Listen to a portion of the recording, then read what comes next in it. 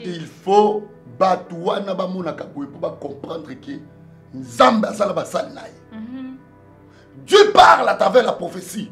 me bato bamona yango lokola baventure nalali lelo letisa ntongo obenga yango kati nga pongi oh. nde azoyi biso ya solo ntango ozobenga nga obenga tititi telefone ezovibre evibre nga evibre ata boletisa biletisa lisusu nini boye okati nga pongi okati nga ndoto ndoto eza nini namoni kongo eningani namoni matanga ya artiste moko ayebani na kongo naloti mhm. donc appel na yo ekati nga namoni ndoto mpenza makasi mais se kofi akufi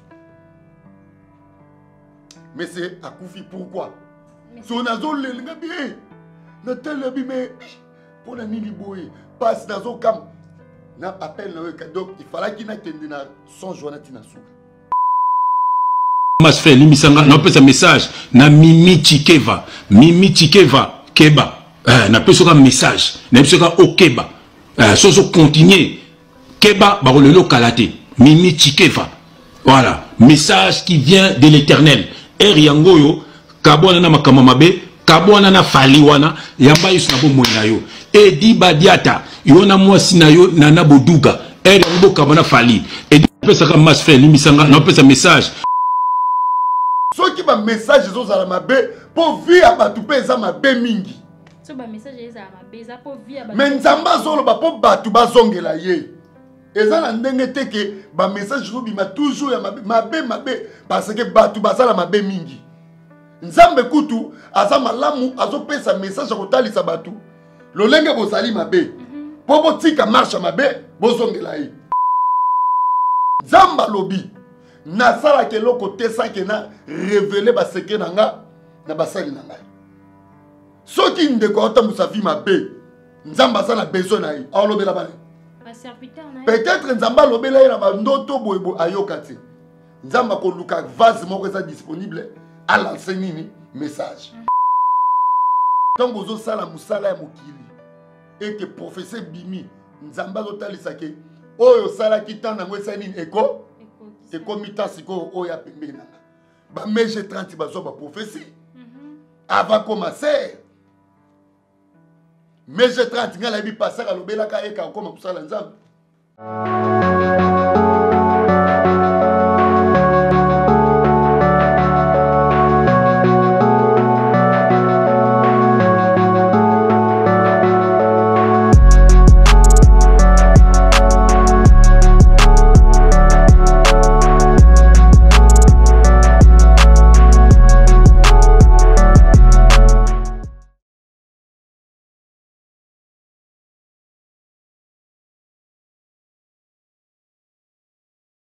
mbote na balandi nyonso ya évangéliste ya ekutu télévision merci beaucoup mpo na confiance merci mpo bozokota ebele merci mpo na bacommentaire merci mpo na bapartage toza na kati ya le monde dans l'église oyo ezali émission na bino yelaka bino bakilto baprédication baprière d'attaque alors totikaka bacommentaire tokommentaka topartageaka c'est très important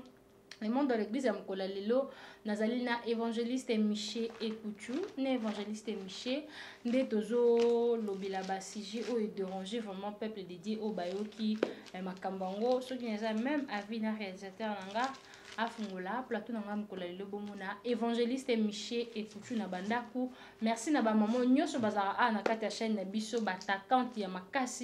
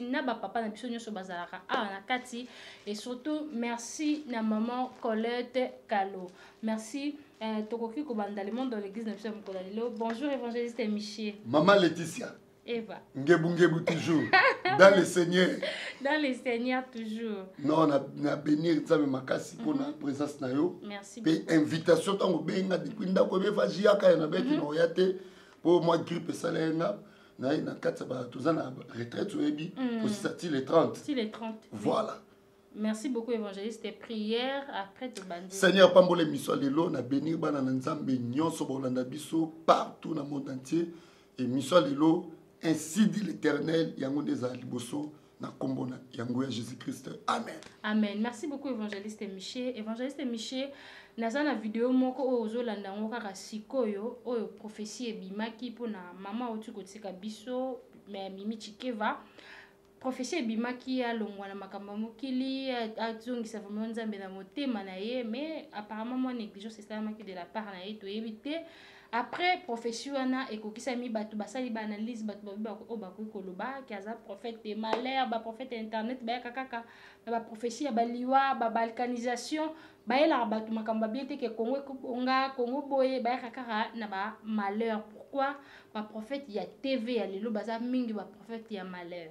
bon eloko ezosala mpasi soki bato baotambwisa vie mabe mhm. toya koloba le contraire tosepelisa bato ebongo nzambe eloko ngai nazomona bato baza mpe na philosophie négative marche ya bato eza mabe mm -hmm. so moto aotambusa vine mabe ngai nazwi message ya libala mpo na ye nzambe ya nini oyo oh, oh, motu vi na ye eza mabe mm. me ozopesa message ya bien vaut mieux nazala na relation malamu na nzambe ke na plaire bato ya mokili mhm. soki bamessage ezozala mabe mpo vi ya bato mpe eza mabe mingi me nzambe azoloba mpo bato bazongela ye eza na ndenge te ke bamessage ezobima toujours ya mabe mabe mabe parce ke bato baza na mabe mingi nzambe kutu aza malamu azopesa message ya kotalisa bato lolenge bozali mabe mpo mhm. botika marshe mabe bozongela ye yebisaka moto wana ndako moto aotambusa vino ya kisi moto akoma pede moto aza na asimba bisimbasimba ya mabe toyele message ya bien est ce que wana euti epai na nzambe osepelisa mutu soki olobi mutu wana akufi ama mutu wana ebebi nzambe akotuna nani atuna basali na ye mhm. yango omoni nzambe soki otangi bien na bible na jérémie 23 bokiti nyonso bomonake nzambe azalaki contre baprofete nzambe aza contre baprofete baprofete oyo nzambe alobi nakotinda malheur bino boke kolobi bonheur nakotinda bonheur bino boke bolobi malheur mhm. nzambe alobi naza na kanda ya baprofete wana mpo badetourne peuple na ngai parce que bazopesa baprophesie non plus kowuta epai na nga mais na basentiment ya mitema na bango leticia mm -hmm. nous sommes au temps il faut oyo nzambe alobi totransmettre na peuple mpo kala mingi te delige ezoya na mokili deluge ezokita na mokili nzambe alingi abetisa mbula biloko nyonso oyo esalema na ancien temps ekoya me toza na temps ifo toganga lokola noe kala mingi te mbula ya kanda na nzambe elingi obeta me ntango bato baotambusa vi mabe tokopesa profesa bien toza na temps de la grâce temps de la grâce mais nous sommes au temps de la fin mhm. basigne nyonso yesu alobaki nous sommes otangi na matthieu 24 24 mhm. matthieu 24 24 et matthieu 24 botangi oyo nyonso tout 24 24 nde alobi il aura plusieurs faux prophètes au temps de la fin plusieurs faux prophètes mhm. mais en réalité nous sommes au temps de la fin il y a maintenant plusieurs faux prophètes oyo babimi na bainternet kopesa baprophétie oyo ezowuta na mitema na bango enopli kowuta epai na nzambe mm. il y aura plusieurs faux prophètes au temps de la fin et nous voyons ça aujourd'hui na bainternet boyebi prophète wana esika abimeli te boyebi esika asala témoignage te aleka na délivrance te conversion ne toyebi te témoignage toyebi te mais abimi prophète mpe bato bazokende et moi je m'étonne je m'étonne komona bato baza ko se détourner na voix ya nzambe likolo ya ba fausse prophétie ezobima na, na voix ya kisi mm -hmm. mais nous sommes au temps de la fin nous disons ce que l'éternel oyo oh, nzambe akoyebisa biso toloba yango tokoloba amose chapitre 3 verset 7 nzambe alobi nasalaka eloko te sake na revele baseke na nga na basali na ngai soki ndeko aotambwisa vie mabe nzambe aza na besoin na ye aolobela bana peut-être nzambe alobela ye na bandoto boyeboye ayoka te nzambe akoluka vase moko eza disponible alanse nini message mm -hmm. ese comprendre ngai ese bana nzambe bocomprendre ngai yango ozomona lelo bato bazodutela baprophesie mpo na nini bokutalakutana na baprophesie oyo ezanga sens prophetie ezanga sens ouais. tolanda video eh, tolanda video ya prophetie yango ndenge papa alobaki très bien aepengle mpe lisusu euh, nana boduka na edi badieta oyo oh, edi badieta azali directeur ya marketing ya artiste efali bon mpe bazongisa yesu na mitema tolandi yango epuis tozongi mas fe elimisa nga napesa message na mimi chikeva mimi chikeva keba eh, napesi oka message nayebi soka okeba eh, soki ozocontinue keba bakolela okala te mimi chikeva voilà message qui vient de l'éternel ere yango oyo kabwana na makambo mabe kabwana na fali wana yamba yesu na bomoi na yo edi badiata yo na mwasi na yo nana boduga ere yango bokamba na fali edi apesaka mas fe limbisanga napesa message merci beaucoup tozongi na kati ya plateau évangéliste monsieur toyoki ndenge alobi ekomaki neti monsieur komi daya na suka abi nalingi naloba eloo moko alobi yango mimi chikeva mimi chikeva zongela nzambe tika kolanda fali pupa mais ntango deja mosala nzambe bapesi yo profesi omoni bato eh? mpo loyenge koye makasi na mokili oyo mhm. bazomona comme nsimbo basala nzambe baza bato pamba ntango mosala nzambe azoloba to basala nzambe baoloba bamona eza bavantire losako bokulaka ndeko na ngai jeff ifonge mwana mbandaka nzambe apambolo makasi mokolo azwa plaire makasi ematise makasi mm. javi foke bor esimbi eloko kasi biso asala nzala so bete eloko mo esimbi eh! jour oyo nyonso motu ekosala eh, nini oh, mais non il faut bato wana bamonaka boye mpo bacomprendre ke nzambe asala basali na ye mhm. Dieu parle à travers la prophétie. Mais bato bamona yango lokola bavantir. nalali lelo letisa ntongo obenga ngo kati nga pongi oh. nde azoyi biso ya solo ntango ozobenga nga obenga tititi telefone ezovibre mhm. evibre nga evibre ata boletisa biletisa lisusu ah, nini boye okati nga pongi okati nga ndoto ndoto eza nini namoni kongo eningani namoni matanga artiste moko ayebani na kongo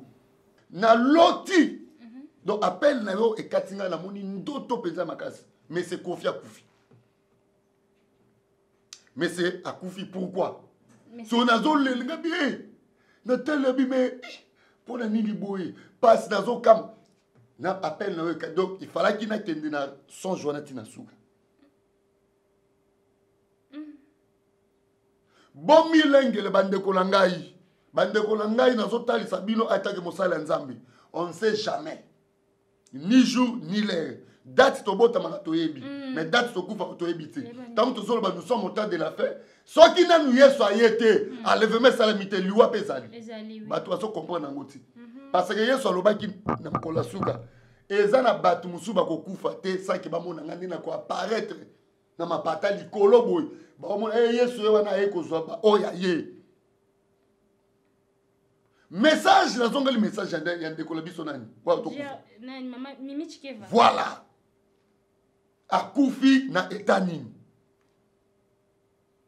namoni tiktok eza na kindoki makasi kuna tiktok eza na kindoki yasi plamedi okefungola nga tiktok makambo nake mona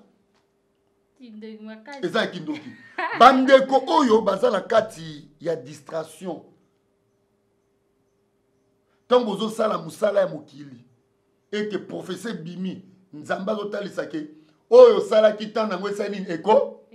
ekomi ta sikoyo oyo ya pembeni na nga bamege 30 bazwa baprofesi mhm. avant komaser mais 30 ngai nayebi pasaka alobelaka ye kakoma kosala nzambe mais 30 oyo lelo aza na poto na france hmm. salela nzambe mpo na nini bato bazalaka matoi mangongi koyoka oyo nzambe azoloba eza lokola na, na epoke ya jonas ntango nzambe amoni na ninive bato bapengwi bato bakomi na misala ya mabe nzambe atindaki jonas kende sakola yebisa bango mabe oyo bazosala kanda na bango mabe na bango emati ti epai na ngai nzambe alors so bakoserepantiri te na koboma bango mhm. jonas malgré asaki bambutumbutu na kokima envoye nini message ya nzambe me sukasuka asali nini akendaki mhm. asakolaki mhm. bobongola mitema nzambe ayoki kanda zoninga aboma bino kobanda roi ya ninive tii na bantaba na basoso na bambwa roi adekrete 3 jours ya jeune prière bato nyonso bazongela nzambe sere na biso atiki biso bamonaki jef ifonge un barbare jef ifonge ya motu moko boye alobaka alobaka ya trop mais il parle des choses vraies azoloba makambo oyo nzambe aza koexplike ye soki sere azalaki na discernement alandaki mopepe te alingaki abongisa ta na ye après la mort opase internité na wapi mhm. mituka oza na yango compte bancaire oza na yango omata ba air bruxelles omata ba air france mhm. omata ba air ethiopia omata ba air kenya omata ba sud african airlines omata ba air canada omata ba british oyo ya compagnie ya ingleterre oyo ya nini ya aviation mm. omata ba caa omata congo airline omata chaber oyo bakompani ya avion nyonso omata na congo basiba ezaire omata na caa na wimbidira na nini avion oyo lisusu nini chaber chaber oyo ezalaka na ntango ya congo na ntango ya zaire mais yebisa nga tu peux vivre tous ces, tous ces merveilles na se na mokili mm -hmm. mais il faut imagination ezala après la mort où je passerai mon, mon éternité je me pose sere na ngai mpe ya son âme mimi chikeva mm -hmm. après ndenge akufi lelo akopasa éternité wapi mpo esika akei fali akobwaka ye te esika akei bruxelles ezalaka te france ezalaka te kuna babengi yango séjour de mort esika nzambe akomezikaka moto nyonso toka akati motema bu ange de vie aya wana ange de la mort, oh, ange de la mort paza wana batelemi sikoyo ange ya nzambe azotala yo ange ya sata mpe azotala yo okende wapi lola efungwami nanu te bana nzambe fo boyeba mais tobengaka yango salle d'attente salle d'attente nde tosalaka bachecking avo voyage mm. tozelaka a avion na destination na biso mm. nde toyaka na aéroport ya njila ere etiope ekiti boye pa bomati muna moto ayake destination na ye soki mpe moto akufi lola efungwami nanu te lifelo mpe efungwami nanu te me basale d'entente na yango ezali oyo tobengaka séjour de mort okobanza deja lifelo na yo na séjour de mort okobanza deja lola no na séjour de mort yango omonaki abraham lisolo ya, ya riche na pauvre oyo oh, yesu apesaki lisese riche wana azolia pauvre azomona mpasi ntango bakufi pauvre akufi riche bakufi pauvre baange aza ebaye kozwa ye azolala na tolo abraham riche sikoyo ntango akufi ake wapi enfer yo ozalaka na mbongo kontaka bafortune no kontaka oyo ozali mais est ce que esprit na obongisa na nzambe ntango riche akufi ake mbala moko affaire na salle d'attente hmm. sikoyo amoni pauvre azalaki na mokili moto azalaki pauvre na mokili na lola akomi riche alali na tolo ya nani ya abraham akomi kolela a ah, ndeko na ngai na mokili oyebi nga te nazo souffrir awa esika oyo naza eza malamu te bana na nzambe kolinga te okufa libanda bo jésus krist te mpo esika okokende kozala malamu te mm. ata bayembanga na mokili otambola cinq continent esika okokende kozala malamu te bieleme esika okokende nga nayebisa bino e oza malamu te eza internité na yo libela na libela nzambe akobandela lisusu mokili te mpo ocomprendre nzambe akobanda lisusu mokili te c'est le moment bien aimé bandeko nyonso bozwa baprophesie bobima na baloyenge wana ya bamusicien mhm. monde ya musique monde satanique monde démoniaque monde ya bapede monde ya kisi monde ya sacrifice ya, ya ténèbre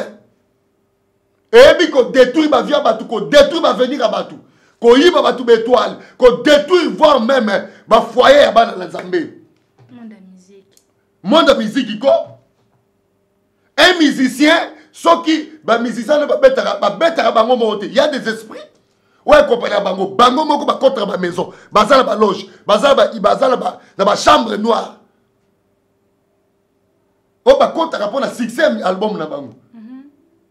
un musicien ce n'est pas moto okosala ne confiance akolia yo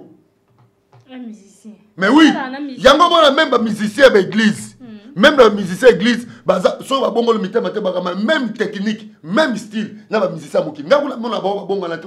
na baoyo bayemba mpe na baeglise la bible déclare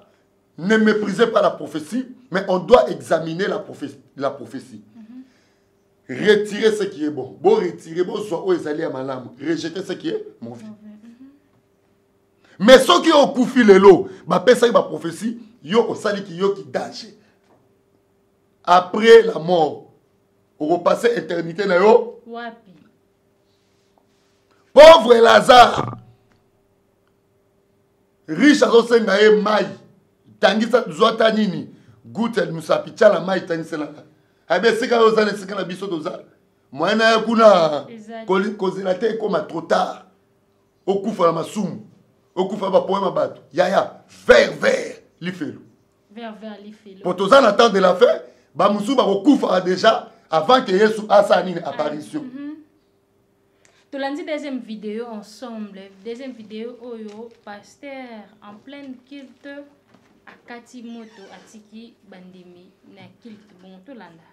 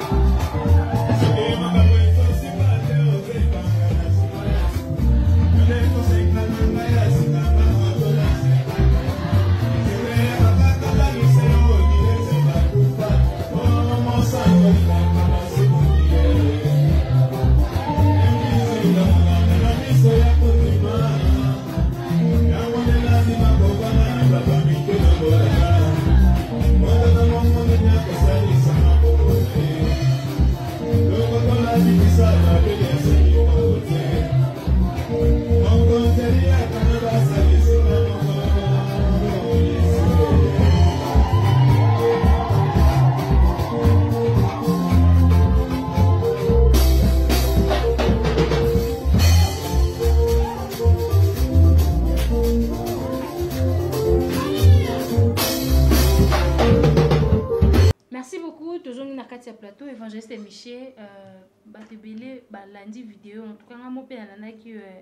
ndenge oyo interveniraki na video oyo bato mosusu bakosala analyse ke poison poison ekoti vraiment mingi na kati ya église poison ezwi place eza nini oyo ekosala mosala ya nzambe azoteya en pleine culte boye nabenga bato babengi nga mingi na intervention nasali mhm. babishere wana eza na basigne ya bato ya occultiste mhm. ya boccultiste mhm. shere wana parce que ya na bani ya bacaro ya noir blanc noir blanc noir blanc babi wana premier signe deuxième signe babi paster akufa eza sacrifice ya visionnaire église wana mpo église emata hmm. mais ce n'est pas le pasteur titulaire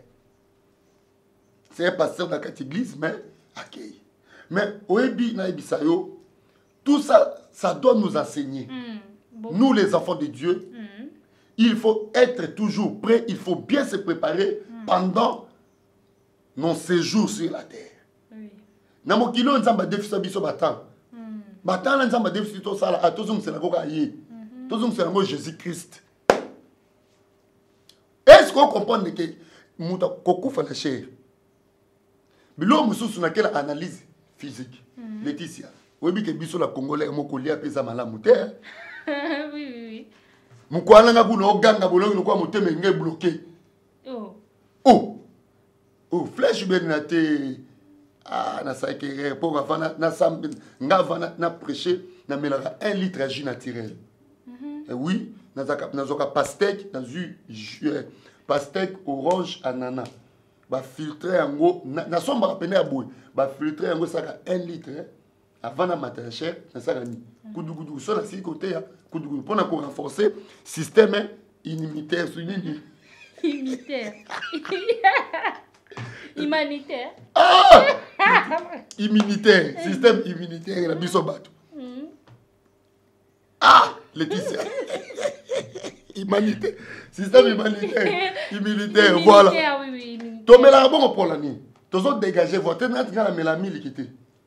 ozola meko omela miliki diare moko osakana te ah libumbu nange na change na meka nido esimba te na meka clim esimba oyo miliki oyo babenga clim toando omela ona epoka mobutu ezalaka chere naluka bele holandaise na mela naleka diare kerigol naleka bapoussere ya bamiliki oyo bayela biso ya babela bambwa batie na meka meka esimba kuku te na poto omela miliki te na meka leka ye boesimba te oh. nde sikoyo nga lokola naza mpe na bandimi bapaster ya badocteur évangéliste tu dois beaucoup prendre des, des fruits pour renforcer votre système immunitaire mm -hmm. na bingi ya pas de problème c'est pour cela avant prédication après prédication namelaka ji wana nasomba anana pasteke orange basangisi so bafiltre yango mhm. so mpe pamplemousse eza na bakisi nameli omona mpenza bonzoto eningani na koganga omo na ganga meme na priere d'attaque wana ngai na bien organise eh. nalandelaka sante na ngai oboa mokie oyo eza na bavitamine ya makasi sikoyo paster akozala na tension paster akozala na problème na ndako aye omona azoyemba ka azoyemba bongo baswanaki na mwasi ne na ndako mm. wana eza baréalité bato mosusu bakoki mpe kobosana peut-être mwasi aboyelaki amerika mobu na butu botikalaki kosole na adoration bo biso bapase tosikosole na nini mpo nazokondane basi mingi ya bapastere bapastere baye babala basi ya bandoki oh. nazoyeso ya solo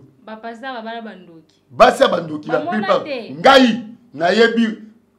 ata 5 ou 10 Pasteur. pasteur azopela prophesie me atala mwasi boye ndoki mpo nga miso wana efungama ya komona yatekenaka wana kisambela mpo nayebaka bandoki mbala moko mpo nga bandoki bakombatanga fort so nzambe asalaka grâce nayeba bandoki nakosambela te natalaka na fixe miso regard Eh, bazalaka bakimisaka bamisu boyemoloko ya ndoki mpo misu na ngai ebimisaka moto oyo ya ngai mhm. ebimisaka moto pa so natali moto ya misala mabe bakoka fixe mo balengisaka misu sikoyo moto akokufa pasere akokufa bongo ba toza mayele komba mpe ezali ya eglize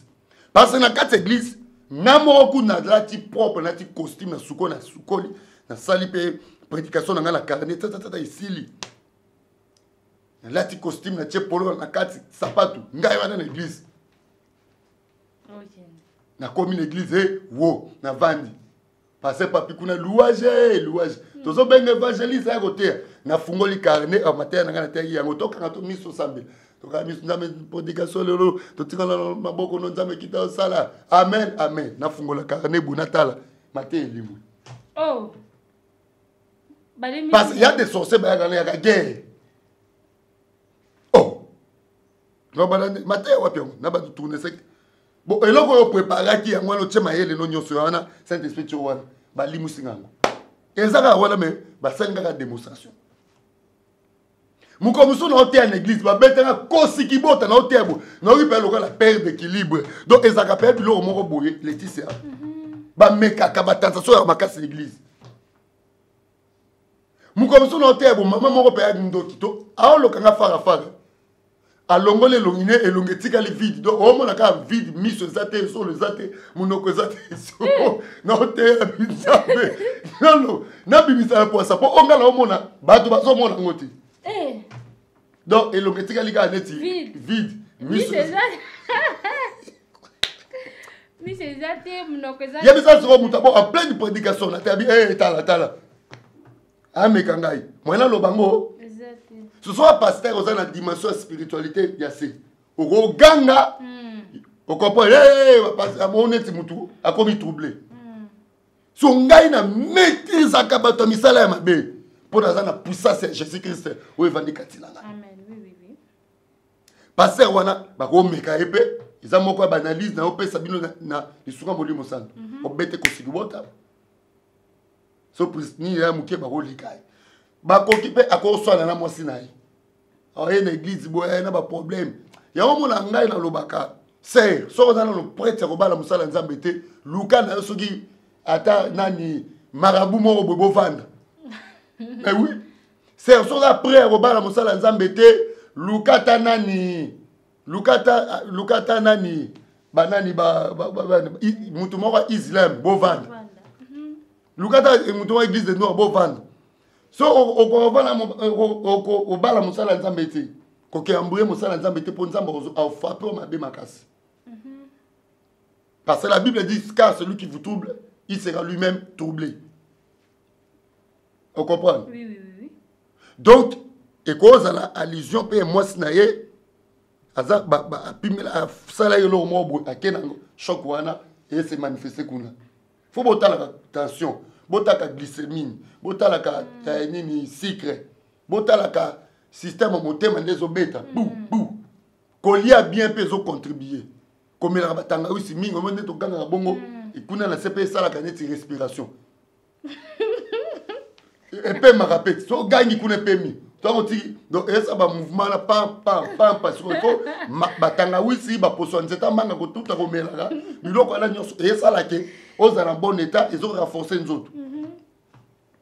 te ngai nyonso nzambe akosala nzambe akosala ngai na 2012 naokaka mpasi motema edegage nga nakota je na 3 jours troisième jour paster moko oti canada nzambe abikisai na sida ayo mema prière wana retraite abandi kosite bakombo bakombo bamaladi ya sita sita site kuna bato baobika 2012 naomituna bi nzambe nayo obikisa ngai mais yesu abikisa ngai lelo 12 a passé mpoza botala aza na mongo okende indi te mm. yebisaka sikoyo aza nde etikala longola ko kaka mm. ekokosa biloko wana esurtout mpe na bavipo esalami na nina mm. na isiro ya ba interieur kindoki eza ya makasi mhm. na ituri turi na, na, na bunya eh, na bunya na bunya ba, na bunya kindoki eza makasi donc euh, wana eza mpe analyse mosusu na kobimisa mhm. donc euh, kokufa mpe avant eza malédiction mhm. neti aza jeune nzambe alobi na psaume 90 verset 10 moto fa kotendre 70 ans première catégorie mhm. deuxième catégorie combien 80 ans tozalaka na atoteyaka yango mhm. troisième catégorie 120 ans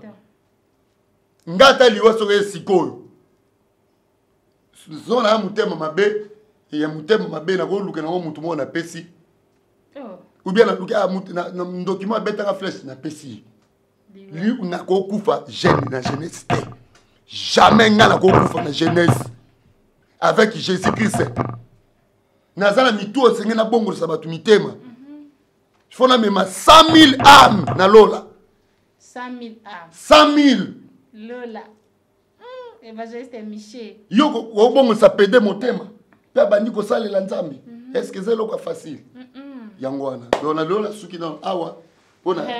appel no ekata nga pongi na ndoto ya frère na biso kofi vraiment merci beaucoup évangéliste michel tokomi pratiquement à la fin bato balandi biso merci beaucoup évangéliste michel message ya suka non toza na demande ya chat parcelle bana nzambe évangéliste michel nzambe autilisaka ye makasi na domaine ya délivrance hmm. yo moto olanda yango oza na problème etungisa yo ya sante mbongo ekangama koobota te esikoka yo mbongo oza na besoin orientation oza na besoin nzambe na ngai asalela yo jésus christ de nazareth n'hésitez pas de m'appeler bien aimé nasengaka mbongo te mpo na opriere bato soki ba orientation ezali moko particulier kezosenga boye boye boye là c'est autre chose mais en réalité nzambe oyo ngai nasalelaka apesanga don gratuit mpo na bino peuple na ye toza na service ya chat parcelle esika na okamba église toza na commune ya ngalema na quartier kamunganga na mbinza ozone na arret kamunganga avenue diantela numero 14 wana eza esika église ezali adresse fixe na ngai naza pasteur de, un, un serviteur de dieu de ministère mm -hmm. naokamba église donc bana na nzambe napamboli bino bato bolandi émission oyo kino na suka nzambe na ngai jésus christ de nazareth apambola bino azala na bino akokisa mposa motema na bino amen merci beaucoup na bato balandi biso tokutani na numero ya sika mpo na balemonde ya l'église ya sika au revoir